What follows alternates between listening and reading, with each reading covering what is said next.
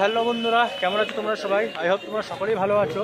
Even আরও একটা video নিয়ে চলে এসেছি। আর আজকে ভিডিওতে থাকছে আটঘড়া দুর্গাপুর মাদ্রাসা। তো ভিডিওটা স্কিপ না করে একদম সম্পূর্ণ দেখতে থাকো। প্রথমে তোমাদেরকে বলে দিই, মাদ্রাসায় তোমরা কীভাবে যাবে? সর্বপ্রথম তোমাদেরকে আসতে হবে মসলন্দপুর স্টেশন আর এই লাইনটা পড়ছে শিয়ালদা থেকে বনগা সেকশনে হাবড়ার একটা স্টেশন পরে মানে এর আগে স্টেশন হচ্ছে সংহতি তারপরে হচ্ছে মসলন্দপুর শিয়ালদা থেকে বনগা শাখায় পড়ছে। মসলন্দপুর স্টেশনে আসলে এরপর তোমাদের কীভাবে যেতে হবে? চলো দেখাচ্ছি তোমাদেরকে। আমিও ফার্স্ট টাইম যাচ্ছি। সম্পূর্ণ তোমাদেরকে শেয়ার করব। ভিডিওটা দেখতে থাকো। তো মৎস্যন্দপুর রেলগেট থেকে একটা অটো ধরে নিয়েছি। যে অটোগুলো বাগজোলার দিকে যাই এই অটোতে আমাকে যেতে হবে মগরা। তো পনেরো টাকা ভাড়া দিয়ে আমরা এখন চলে এসেছি মগরা। আর এই জায়গাটায় নেমেছি। ব্যাস এখান থেকে এবার একটা টোটো নিয়ে আমাকে যেতে হবে। আটঘড়া গাবতলা। গাইস অ্যাটলিস্ট এখন আসলাম। আটঘড়া গাবতলা। তো এই স্টপেজটা আমি নামলাম। তো জায়গাটা তোমাদেরকে দেখাই। তো এটা হচ্ছে আটঘড়া গাবতলা তো আমাকে এখানেই আসতে বলল। এরপরে আমাকে ড্রপ করতে আসবে আমার নিতে আসবে এখন। চলো এরপরে যাব মাদ্রাসা। আর অ্যাটলিস্ট এতটা তোমাদেরকে বলে দিলাম মসলানবুর থেকে তোমার কীভাবে আসবে? মসলানবুর থেকে তোমাদেরকে আসতে হবে মগরা ঠিক আছে? মগরা থেকে নেমে ওখান থেকে টোটো ধরে তোমরা চলে আসবে আটঘড়া গাবতলা আসসালামু আলাইকুম। ভালো তো? তো অ্যাটলিস্ট চলে এসছে এখন আটঘড়া গাবতলাতে তো ভাইদের সাথে দেখা হয়ে গেল ভাই নিতে এসছে। আমার এক ভাইয়ের অনেক বড় ফ্যান অনেক ভিডিও দেখি তার ইউটিউবে খুব ভালো কষ্ট করে আর সকালে সাপোর্ট করবে। আর এটাও একজন বড় ইউটিউবার ঠিক আছে? চলো ভাইয়ের সাথে পরিচয় করিয়ে দিই চলো বাতাসে চলো। এটা মাসা প্রধান গেট তো ফাইনালি এখন চলে এসেছি মাদ্রাসাতে আটঘড়া যে মাদ্রাসাটা আছে তো এটা আছে মাদ্রাসার প্রধান গেট আর ওপরে কি আছে এটা? একাডেমি এটা আছে আলফালা একাডেমি মাদ্রাসার একটা প্রতিষ্ঠান।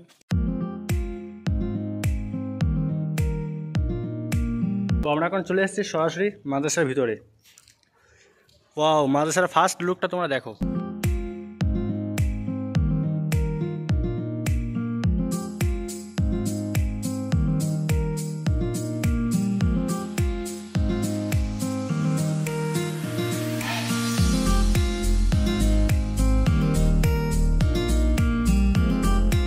এটা হচ্ছে মাদ্রাসার নাম, Jamia Darul Uloom Falahe Darain.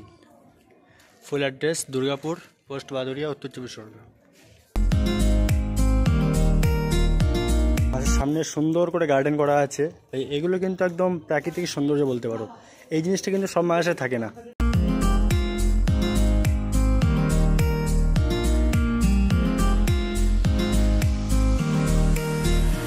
মানে মাদ্রাসাটা এক পলক দিকে আমার খুব পছন্দ হয়ে গেছে, খুবই সুন্দর লাগে মাদ্রাসাটা। মাদ্রাসা এখানে টাইলস বসানো ওয়ালগুলোতে।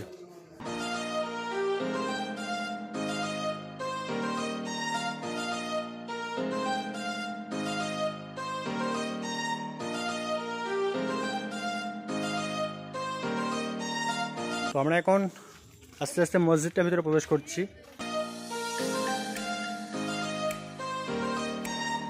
ওয়াও মাশাল্লাহ মসজিদটা কিন্তু সেই লেভেলের সুন্দর একেবারে।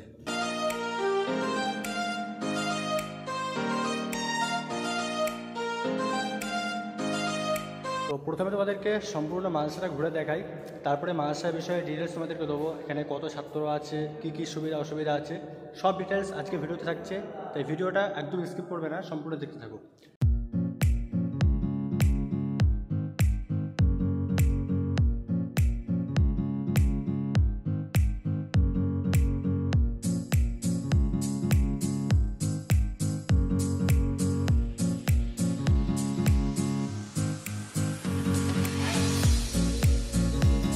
তো এটা আছে মাদ্রাসার অজুখানা মসজিদের। মাদ্রাসা মসজিদ কিন্তু একই, সম্পূর্ণ মাদ্রাসার এই মসজিদ এটা।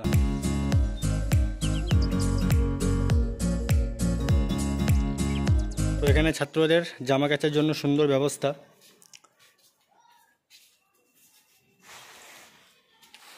মাদ্রাসার ওয়াশরুম। এই ওয়াশরুমটা তো এত সুন্দর। ওয়াশরুম কিন্তু সব মাসে এত সুন্দর থাকে না। যতটা এই মাসে দেখতে আমরা এমন এমন মাসে পড়েছি, সেসব মাসে ছাত্র অনেক বাট ওয়াশরুমে এত শর্ট বলব। মানে পেশা পায়খানা গিয়ে আমাদের নামাজ ছেড়ে যেমন এমন মাসা আছে মানে ওয়াশরুমের সংখ্যাটা খুব কম, প্রচুর লাইন পড়ে যায় বাট আশা করি এখানে তেমনটা হবে না, কারণ যথেষ্ট এখানে ওয়াশরুম বা গোসলখানার ব্যবস্থা আছে। দুতলা মাদ্রাসা। একদম মাদ্রাসার সামনে একদম ফুলের বাগান মানে সুন্দর গার্ডেন আর তার সামনে মসজিদ। তোমাদের কামরা কোথায় ভাই? তো এখন যাব এবার ভাইদের কামরাতে দুতলায়। তো এদিকে গার্ডেন সাফ করা হচ্ছে।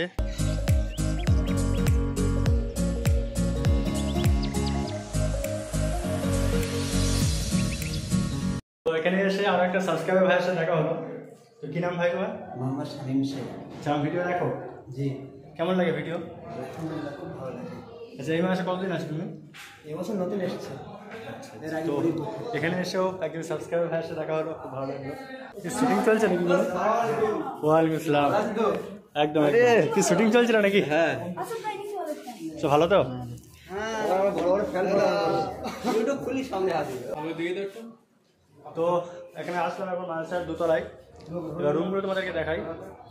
রুম নাম্বার টোয়েন্টি ফাইভ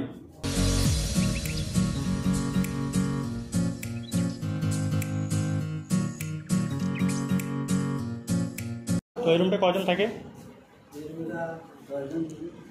তো যথেষ্ট একটা বড় রুম এটাতে দশজন থাকে। কোন ক্লাসে তাই? যে ক্লাস অন্য বিল্ডিং মানে ক্লাস অন্য এখানে ছাত্রদের থাকার, এটা হচ্ছে মুখতাসার ক্লাসের রুম এখানে ছাত্ররা থাকে। ক্লাস হয় কিন্তু অন্য রুমে। তো আমাদের সেই বড় ফ্যান্টার সাথে দেখা হলো তোমার চিনতে পারো অবশ্যই আমার প্রথম ভিডিওতে আছে। কোন সেই সেই সেই আরিফ তোমার কি পড়া হচ্ছে এখানে এখন? কাফিয়া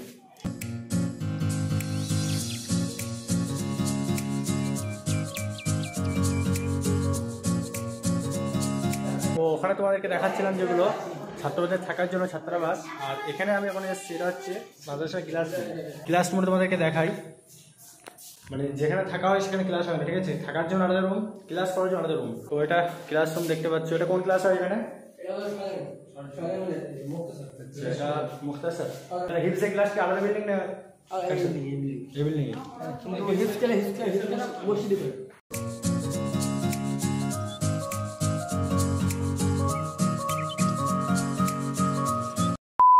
মাদ্রাসা তোমাদেরকে সম্পূর্ণ ঘুরে দেখালাম। তো এবার আসি মাদ্রাসার ব্যবস্থাপনা কি সুযোগ সুবিধা কি আছে সেগুলো তোমাদেরকে এখানে ভাই আছে তো ভাইয়ের সাথেই জিজ্ঞেস করে নেব। তো সবার ভাইকে জিজ্ঞেস করব এখানে মাদ্রাসার ছাত্র কতজন আছে? ছাত্র প্রায় দুশোর কাছাকাছি। কত বন্ধু জামাত আছে? এখানে আতফাল থেকে শুরু করে একদম দরাই হাতিস পর্যন্ত। মানে পুরো দর হাদিস পর্যন্ত এখানে জামাত আছে। আচ্ছা আর কি মানে হিপসের সাথে আর কি কি ক্লাস আছে? হিপস আর দর হাদিস এই দুটো হিপস হ্যাঁ হিপস আছে সাথে। দুটো হিপস খানা আছে। মসজিদে পড়ানো হয় হিপস থেকে তো আরও একটা ইন্টারেস্টিং কথা বলে দিই। ভাই কিন্তু আমাদের নদিয়া জেলার ঠিক আছে? তাই তো ভাই? একদম। কোথায় বাড়ি ভাই তোমার? আর আমার হচ্ছে ভালুকা কৃষ্ণনগর। কৃষ্ণনগর কালকেই এসেছিলাম। তো এখানে খাওয়া দাওয়ার কী সিস্টেম আছে? এটা বলো। খাওয়া দাওয়া আলহামদুলিল্লাহ। এখানে যারা আছে তাই জিজ্ঞেস করতে পারবে। খুব সুন্দর খাওয়া দাওয়া মানে কি সকালে কি খাওয়া দাওয়া হয়? সকালে নাস্তাটা হচ্ছে দেওয়া হয় না। মাসের সারাদিনের পঠন পাঠনটা একটু বলো। মানে ফজর পর থেকে উঠে পড়ানো হচ্ছে ফজরের পর থেকে। ফজরের পরে একটু পড়ানো হয়। তারপরে নাস্তা দেওয়া হয়। নাস্তা বলতে নাস্তা এখন দেওয়া হচ্ছে না এখন বন্ধ আছে। কিন্তু নাস্তার একটা গাড়ি আসে সেখান সেখানে ছাত্ররা কিনে খেতে পারবে। তারপরে আমাদের নাস্তা নিজে টাকা করতে হয়। হানি যেটা করতে হয়। কিন্তু তারপরে আমাদের ক্লাস শুরু হয় ক্লাসের পরে ছুটির পরে। গোসল টোসল করে নিয়ে তারপরে আধা ঘণ্টা পরেই ভাত দেওয়া হয়। আচ্ছা, সকালে ক্লাস কটা পর্যন্ত? সকালে সাড়ে সাতটা থেকে শুরু করে এগারোটা পর্যন্ত। আচ্ছা। দুপুরে ভাত কটায় হয়?